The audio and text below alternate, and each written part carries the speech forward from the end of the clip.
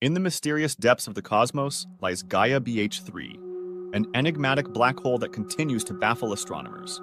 Located a staggering 2,000 light years away in the constellation Telescopium, Gaia BH3 is part of a celestial dance with a luminous star, its gravitational pull casting an eerie influence.